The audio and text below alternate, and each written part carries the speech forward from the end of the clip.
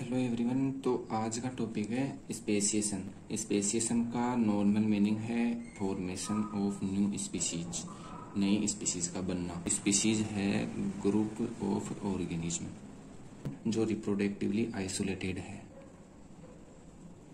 Reproductively isolated है. ठीक है? अब आइसोलेटेड कैसे रिप्रोडक्टिवली आइसोलेटेड है? जैसे हॉर्स की स्पीशीज है वो हॉर्स के साथ मैटिंग करेगी बफेलो की स्पीसीज है, वो बफेलो के साथ मैटिंग करेगी। ऐसे तो नहीं है बफेलो की स्पीसीज को मैट करवा देंगे हॉर्स के साथ। ऐसा कुछ नहीं है रिप्रोडक्टिवली आइसोलेटेड होते हैं। स्पीसीज का फॉर्मेशन कैसे होता है, ये दो रीजन से हो सकता है। मतलब दो रीजन से होता है न्यू स्पीसीज का फॉर्मेशन दो रीजन से होता है। एक है एलोपेट्रिक और एक है सिंपेट्रिक तो एलोपेट्रिक में होगा reproductive isolation due to geographical barrier या फ़िज़िकल बैरियर हो गया। किसी भी जोग्राफिकल बैरियर की वजह से स्पीसीज का फॉर्मेशन होना एलोपेट्रिक स्पेसिएशन कहलाता है और सिंपेट्रिक स्पेसिएशन है reproductive isolation without any physical distance and barrier parents species के साथ में रह के ही न्यू स्पीसीज का फॉर्मेशन बिना किसी बात के ही तो वो सिंपेट्रिक स्पीसीज कहलाता है। तो वो सिंपेट्रिक स्पेसिएशन कहलाता है। एलोपेट्रिक एलोपेट्रिक स्पेसिएशन में जोग्राफिकल बैरियर की वजह से हो सकता है न्यू स्पीसीज का फॉर्मेशन जोग्राफिकल बैरियर जैसे कि माउंटेन है ग्लेशियर है रिवर है, कुछ भी हो सकता है।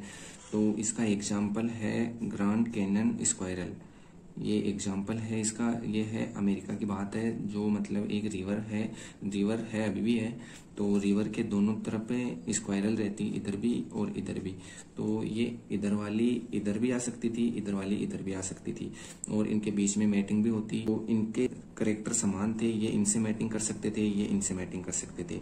अब धीरे धीरे क्या हुआ रिवर मतलब गर्त खाई खाई बन गया मतलब ये नदी है ना, ये धीरे धीरे धीरे धीरे, बहुत ज़्यादा अंदर मतलब खाई सा बन गया, सैकड़ों फीट नीचे गर्त बन गया तो इधर वाली स्क्वायरल इधर नहीं जा सकती और इधर वाली स्क्वायरल इधर नहीं जा सकती।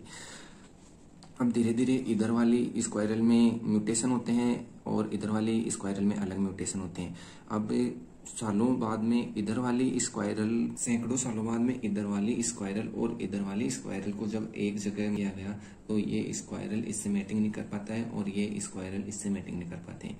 तो ये है जोग्राफिकल बैरियर की वजह से स्पेसिएशन का फॉर्मेशन और ये एलोपेट्रिक स्पेसिएशन का एग्ज़ाम्पल है।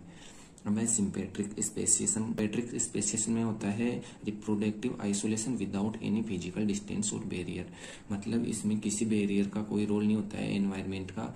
इनमें बिना किसी बात के म्यूटेशन हो जाता है। पेरेंट्स के साथ साथ रहते रहते भी आइसोलेटेड हो जाते हैं और म्यूटेशन हो जाता है। तो ये है सिंपेट्रिक स्पेसिएशन इसके एग्ज़ाम्पल के अंदर बात करेंगे हम एक इंसेक्ट की जिसका नाम है एप्पल मैगट फ्लाई ये एग्ज़ाम्पल है, अमेरिका का एग्ज़ाम्पल है। ये लगभग 200 ईयर एगो पहले की बात रिसेंटली है। तो यहाँ पे हॉर्थोर्न के ट्रीज थे अमेरिका में, जहाँ पर ये फ्लाई रहते थे। यहीं पे इनका पोषण वगैरह होता। तो ये यहीं पे रहते थे। अब क्या हुआ? अमेरिका में एप्पल के पेड़ नहीं होते। तो होते थे, अमेरिका में एप्पल के पेड़ नहीं होते थे। तो यूरोप से बीज लाके अमेरिका में एप्पल के पेड़ लगाए गए हैं। तो यहाँ पर एप्पल के पेड़ लगाए जाते हैं।